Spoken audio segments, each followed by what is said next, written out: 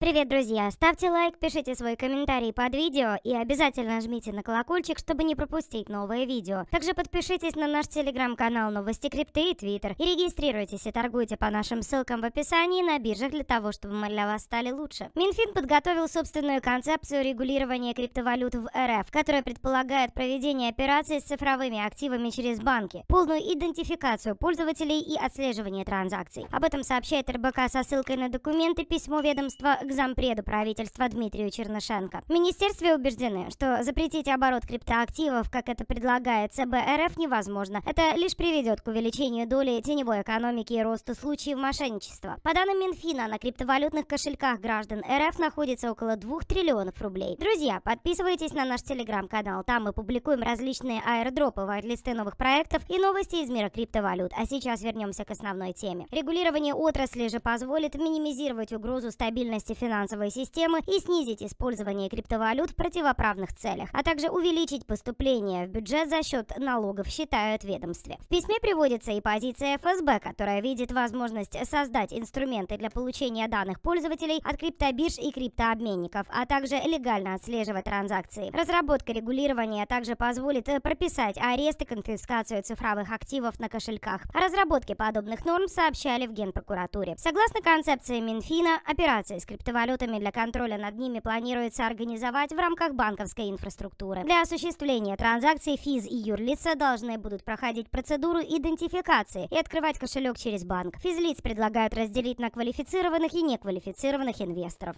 Банки, предоставляющие функционал для криптовалютного рынка, должны обладать универсальными лицензиями. Они будут отслеживать операции клиентов на предмет незаконной деятельности, хранить данные о сделках в течение как минимум 5 лет, а также предоставлять данные пользователей регуляторам или правоохранителям по их запросу. Для контроля за транзакциями и выявления связанных с криминалом Минфин предлагает использовать сервис «Прозрачный блокчейн». За образец процедуры полной идентификации клиентов Министерство предлагает взять швейцарский сервис Axiometria, собирающий большое количество данных, фамилия, имя, отчество, адрес, номер телефона, банковского счета, дата рождения и другие. Ведомство также хочет отслеживать информацию об устройстве, с которого совершаются транзакции. В документе также предлагают создание операторов обмена цифровых валют, которые могут работать по модели P2P обменника или биржи. Они должны будут зарегистрироваться в реестре Центробанка. Минфин не исключает работу иностранных криптовалютных бирж на российском рынке. Для этого им необходимо будет открыть представительство в РФ и интегрироваться с местными банками. При этом платформы, зарегистрированные в странах с льготным налоговым режимом или не предусматривающих предоставление данных по финансовым операциям, в России работать не смогут. Регулирование предлагают распределить между ЦБ, Минфином, ФНС, Минцифры, Генпрокуратурой и